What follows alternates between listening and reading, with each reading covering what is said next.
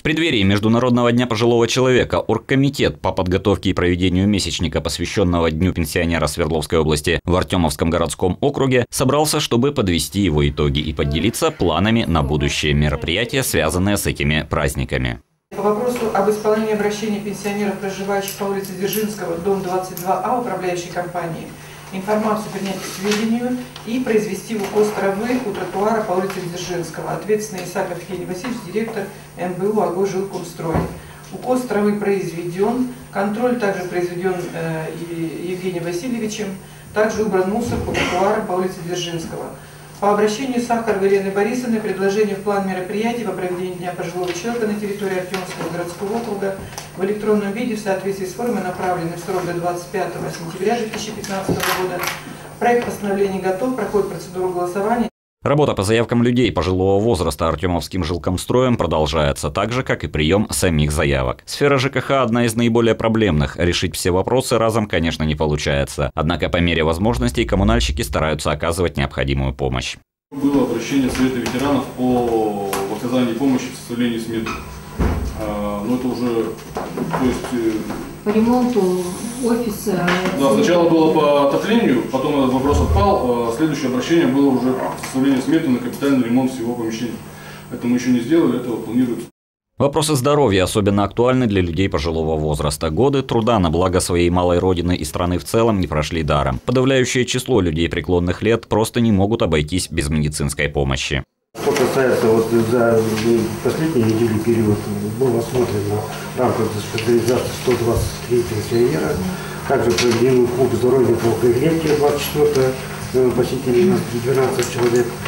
И э, школа здоровья проведена за этот период. Две школы здоровья, это Артемовская поликлиника и Болгарская поликлиники. Ну, остальное все по плану. Очень важно, чтобы заслуги людей пожилого возраста были отмечены. Сами они не были забыты. Ведь даже в самой сложной ситуации они становятся для нас примером стойкости и жизнелюбия. Управление социальной политики нашего муниципалитета активно занимается работой в этом и других направлениях.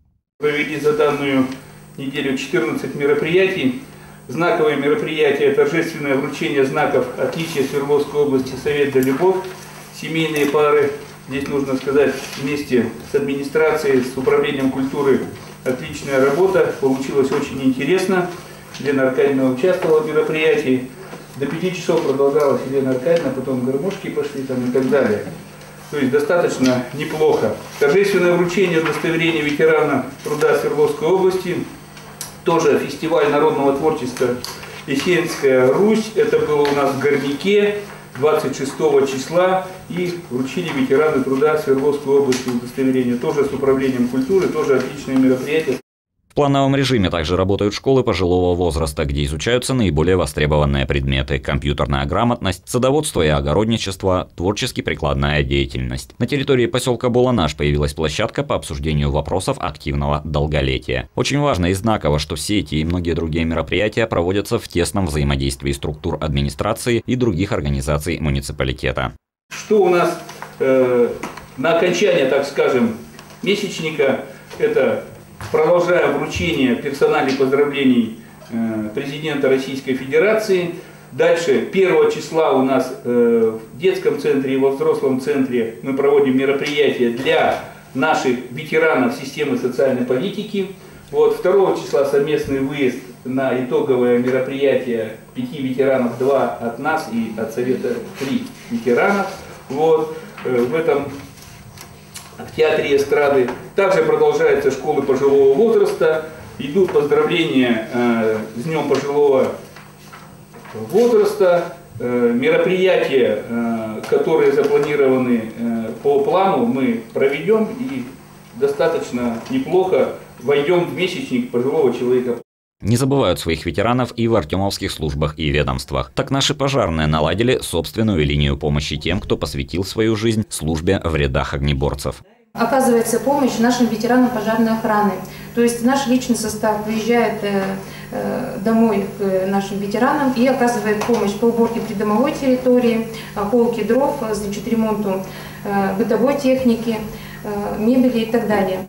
9 октября 54-й пожарный отряд отметит свое 15-летие, и на празднование, конечно же, приглашены все ветераны, которые, к слову, не теряют формы и активно участвуют в спортивных и туристических мероприятиях. Не забывают своих ветеранов и в сфере образования. Горкомом профсоюза за данный период проведены такие мероприятия, как экскурсии для ветеранов педагогического труда в музей села Миронова, в Ромашево, школу 56. В школе 56 прошла экскурсия и чаепитие. Кроме того, ветераны педагогического труда участвовали в туристическом слете «Покровский привал», заняв, как и обещали, первое место. Приятно, что заботу о ветеранах и пенсионерах проявляет подрастающее поколение артемовцев. Пожилые люди часто сравнивают их работу с незаслуженно забытыми тимуровцами. Вот буквально 25 сентября селе Писанец воспитанники клуба «Изумруд» помогали ветерану. Причем здесь даже не только заявки поступали, а сами воспитанники выходили и предлагали помощь. Также 24 сентября члены Российского союза молодежи, значит, инвалиду второй группе, пенсионерки приобрели продукты питания в рамках этой акции. Воспитанники клуба изготовили своими руками подарки для пенсионеров. Это э, воспитанники клуба «Кварц», поселок Красногвардейский, четыре тросточки. И в городе Артемский клуб «Темп» открытки. Пенсионерам и ветеранам положены определенные льготы, есть возможность получения тех или иных субсидий. Однако многие из них не знают, как это сделать, им необходимы консультации специалистов, которые идут навстречу людям пожилого возраста. Было принято и проконсультировано 8, 84 э, это человек всего, по субсидии 37, по компенсациям 47. Э, проводили участие в консультировании граждан, правда никто не пришел в ФЦ, ну, факт был у нас такой я отчитываюсь. Э, следующее. Э, в центре мы проконсультировали по линии горячей линии по субсидиям 56 человек, по консультациям тоже 56 человек. Интересные цифры совпали у нас. Затем э, сам лично принял я двух граждан. И мы проводили день открытых дверей 24 сентября. В этот день в рамках месячных пенсионера Э, прием вели в том числе начальники отделов, ну я в том числе участвовал, э, прямо в приемном зале. Свою лепту в оказании необходимой помощи людям пожилого возраста внесли и артемовские средства массовой информации, которые постарались сделать важную для них информацию доступной. Благодаря вам еженедельно выходило объявление горячей линии, э, согласно которой поступали звонки. Также Э, средства массовой информации, это местное телевидение, на, по радио еженедельно, ежедневно э, было объявление о приеме звонков и рабочей горячей линии. То есть благодаря средствам массовой информации мы могли повзаимодействовать с нашими ветеранами. Включиться в работу с пожилыми людьми должны не только муниципальные службы и ведомства. Важно, чтобы все артемовцы постарались сделать так, чтобы наши пенсионеры и ветераны ощутили наше к ним уважение и любовь. Рекомендовано также всем руководителям предприятий, учреждений, организаций всех форм собственности, э, которые осуществляют свою деятельность на территории нашего округа, провести мероприятие, посвященное Международному дню пожилых людей и оказать помощь и поддержку нуждающимся престарелым гражданам. Делясь планами на будущее мероприятия, необходимо четко мониторить качество уже прошедших. И в этом вопросе главное слово должно оставаться за самими пенсионерами и ветеранами. По всем мероприятиям выполнения замечаний не было, было только одно. Пожелание попросили передать, что нынешнее выполнение, нынешнее празднование, точнее, месячника пенсионеров отличается положительную сторону от прошедших лет. От прошедших лет.